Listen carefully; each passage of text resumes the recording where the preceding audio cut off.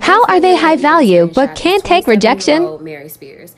In 2014, Mary attended a party where she was approached by a 38 year old man named Mark Dorch. He asked for her name and phone number, and she declined, stating that she could not talk to him because she had a man. Mark continued to harass her throughout the duration of the party, which ultimately led to him being kicked out. Around 2 o'clock that morning, when Mary left, Mark was outside and he approached her again. A confrontation ensued, and Mark shot Mary three times, twice in the head, and injuring five other people.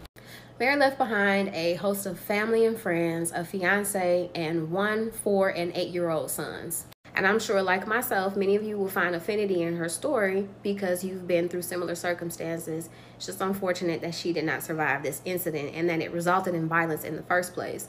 And sadly, there is nothing unique about her story either. This is 29 year old Janice Talton Jackson, who was killed after rejecting a man's sexual advances at a bar. This is 22 year old college student Tierra Poyu.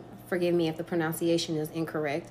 She was shot in the face by a man after she declined to dance with him in broad daylight at a festival. This is 22 year old Lakia Walker, who was attacked by a man after she didn't thank him for holding a door. This is 23 year old comedian Paris Sashay, who was attacked by a group of men and woke up in the hospital with a broken nose after she declined their advances. I'm sure many of you have heard that you should just give a fake number, give a Google number, give your actual number and block them later. Just say no smiling, just say no like this, just hee hee ha ha, say you have a man.